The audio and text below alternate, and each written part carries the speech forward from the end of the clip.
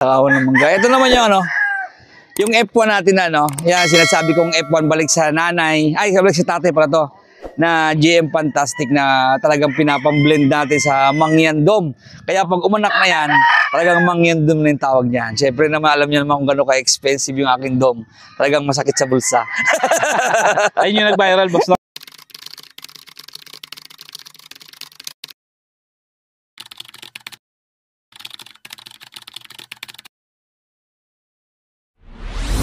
Yun. Tabingi. So, ayun mga ka-idol, ah, kakatapos lang ng ating interview. So, papakita naman natin yung mga manok dito. ah, isa-isahin natin. Pero hindi naman lahat, di ba? Konting ano lang, konting manok lang. Tapos may ipapakita rin sa atin si Sir Rap ng Rap Game Farm. and Rap Game Farm na. Si Sir Rap, ah, papakita niya yung mga imported niya na manok na galing, ano, import niya dito. Import, imported niya eh, kaya import eh, di ba? So, ayun, titignan natin mga ka-idol. So, ayun mga ka-idol, ah, samahan niyo na lang ako ulit.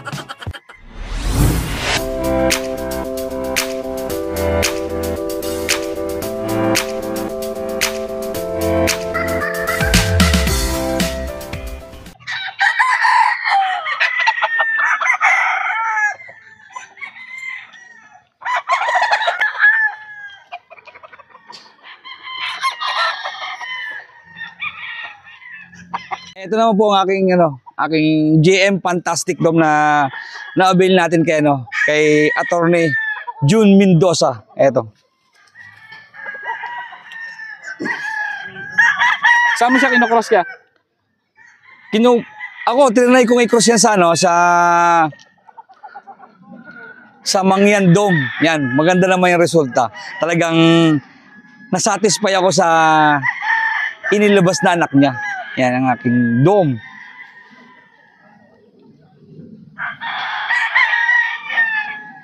And ito naman ang papakita ko naman sa inyo ang aking Cecil Davis Kelso na anak ng anak naman yan.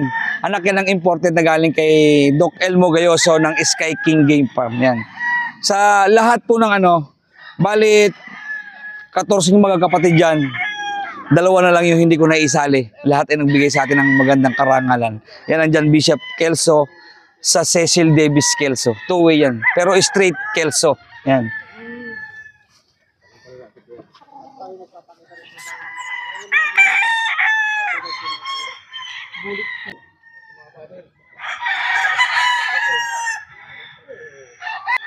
Ito naman ang aking binabae, ano? Ano, 50-50 yan. 50 na imported na Gilmore na binabae tapos yung nanay niya ay John Bishop Kelso. Eh ano. Apat na magkapatid dyan. Talagang napakaganda ng binigay sa aking record mga idol. Kaya po talagang next season yan, no, papadamihin natin yan para yung mga nagtatanong sa akin ng mga binabae ito, may papalabas na po tayo ng talagang subok na. Yan, no, authentic yan mga idol.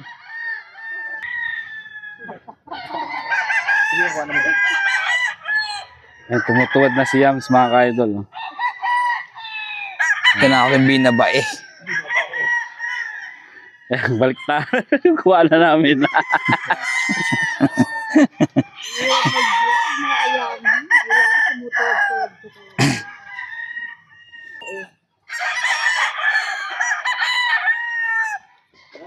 Bulik-bulik, babalik.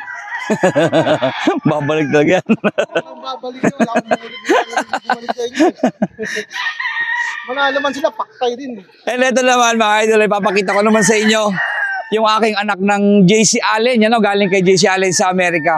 Ito yung anak niya, yung 20 Grand Kelso sa John Bishop Kelso. Yan o, yung galing kay JC Allen yung 20 Grand Kelso. Ito yung anak niya. Kaya lang sobrang salbahe. Yan o, nakita niyo naman, oh, pumuporma na agad. yan o, wow. Ang gwapo niyan. Nakita niyo naman kung gaano kagwapo ang aking imported na yan. Wala galit sa inyo. Mukha nagalit na nga. Wala. Yun, ay, pogi. Butong-buto ka pa yan. Ayan.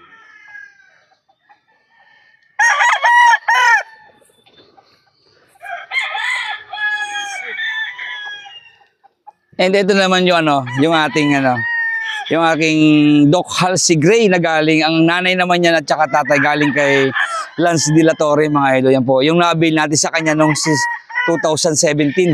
Eto, lahat po ng anak niya ay talagang nagbigay sa akin ng magandang karangalan din. Yan. Kaya lang medyo salbaher nito. Oh. Nakita niyo naman.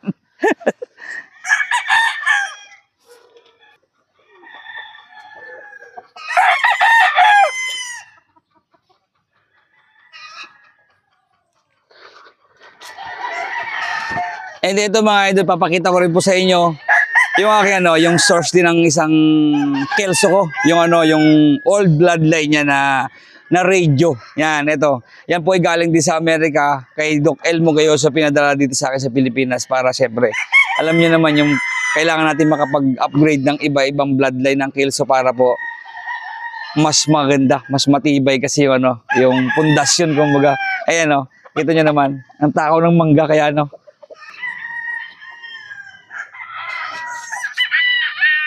si Vin Castro nakatuwad. Ang overlay lang naman to kuya. eh. matanda na yan kuya. Mga 5 years na yan. Bulto yung katawan, no? Ilalagay natin yung manok. Ah, okay, okay. Para overlay. Oo, oo, oo. Mm, mm, mm. Okay, may alin sa muso. Mangga, sa mangga yan. Sa mangga. Oo, sa mangga yan. Kakain ng mangga. Katakawan ng mangga. Ito naman yung ano, yung F1 natin na, no? Yan, sinasabi kong F1 balik sa nanay. Ay, balik sa tatay pala to. Na GM Fantastic na talagang pinapamblend natin sa Mangyandom. Kaya pag umanak na yan, talagang Mangyandom na yung tawag niyan. Siyempre naman, alam niyo naman kung gano'n ka-expensive yung aking dom. Talagang masakit sa bulsa. Ayun yung nag-viral, boss, no? Yan yung nag-viral. yung nag-viral lang. Hindi, yung nag-viral yun, oh. Yun. Yung nandun. Ganda ng bulik na to, mga ka-idol. Eh. Pikom.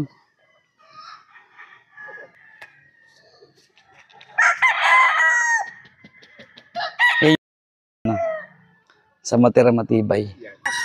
Ito naman yung... Yung mga ka-idol, ah, kung bakit binaba si Sir doon sa bulik niya, puntahan nyo lang si Sir sa page niya. Malalaman mo doon.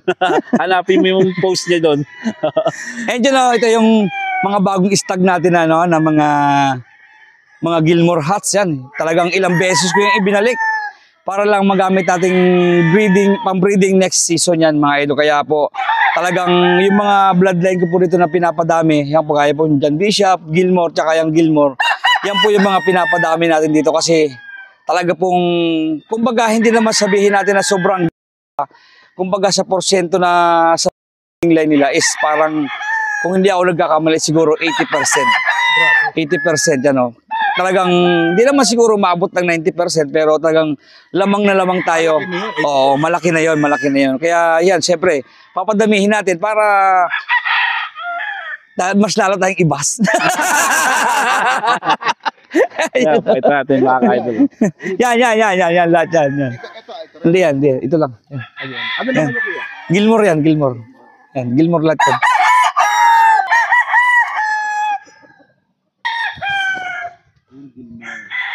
Kaya mga ka-idol, eh.